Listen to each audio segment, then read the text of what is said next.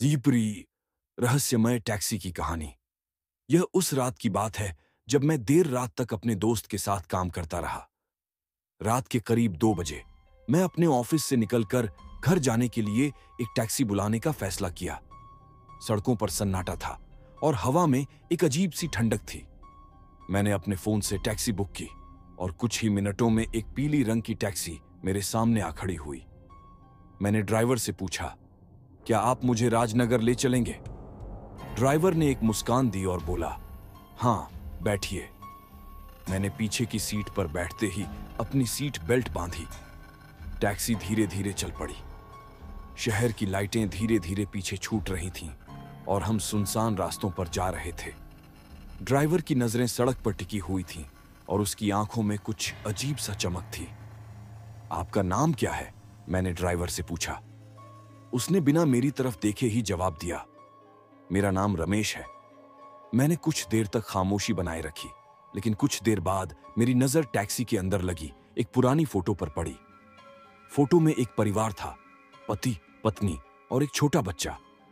यह आपका परिवार है? मैंने उत्सुकता से पूछा। ड्राइवर ने हल्की सी मुस्कान के साथ कहा, हाँ, था। था? क्या मतलब? मैंने चौंक कर पूछा। ड्राइवर ने एक लंबी सांस ली और बोला, कुछ साल पहले एक हादसे में मेरी पत्नी और बच्चा दोनों गुजर गए। तभी से मैं अकेला हूँ। मैंने एक ठंडी सांस ली और उसके दर्द को समझने की कोशिश की। कुछ देर बाद टैक्सी एक सुनसान जंगल के पास से गुजरने लगी। जंगल की स्याह परछाइयाँ और अजीब अजीब आवाज़ें मेरे दिल की धड़कनें तेज कर रही थीं। अचानक ड्राइवर ने टैक्सी रोक दी और कहा, टायर, पंचर हो गया है।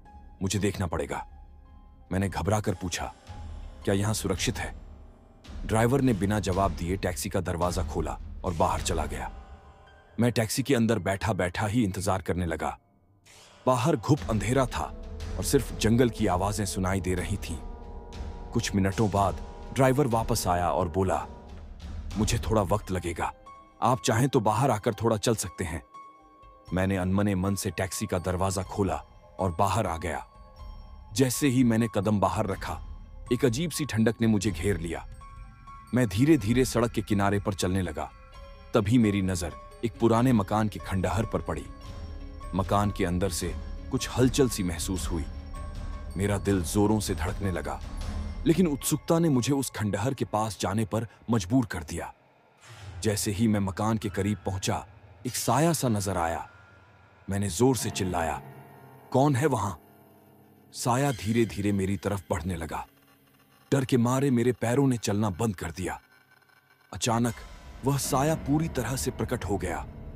वह कोई और नहीं, बल्कि ड्राइवर रमेश था, लेकिन उसकी आँखों में अब एक अजीब सी चमक थी। यह क्या है? मैंने घबरा कर पूछा। रमेश ने एक खौफनाक हँसी के साथ कहा, तुम्हें यहाँ लाना मेरा मकसद था। तुम ही मेरे परिवार की मौत के जिम्मेदार हो। मैंने चौंक कर कहा मैं?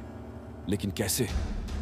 रमेश ने बताया कि कुछ साल पहले मेरी गाड़ी के साथ हुए एक हादसे में उसकी पत्नी और बच्चा मारे गए थे। वह हादसा मेरी गाड़ी के ब्रेक फेल होने के कारण हुआ था। मुझे उस हादसे का बिल्कुल भी याद नहीं था, लेकिन रमेश की बातें सच लग रही थीं। मैंने कभी जानबूझकर ऐसा नहीं किया, मैंने रुआ से स्वर में कहा। रमेश ने एक ठंडी मुस्कान के साथ कहा तुम्हें भी उसी दर्द का एहसास होगा। वह मेरे करीब आने लगा। मैं डर के मारे पीछे हटने लगा। तभी अचानक एक तेज रोशनी से मेरी आँखें चौंधिया गईं। एक दूसरी गाड़ी वहाँ आकर रुक गई और उसमें से एक पुलिस वाला बाहर निकला। क्या हो रहा है यहाँ?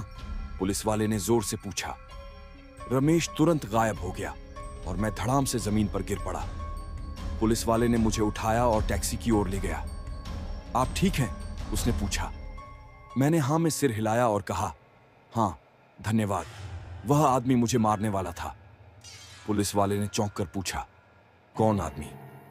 मैंने रमेश की ओर इशारा किया, लेकिन वहाँ कोई नहीं था। सिर्फ़ जंगल की अंधेरी रात और सन्नाटा।